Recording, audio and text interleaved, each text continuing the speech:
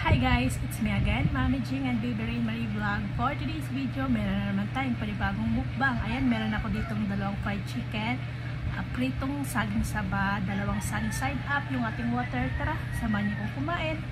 Unang subo para sa lahat.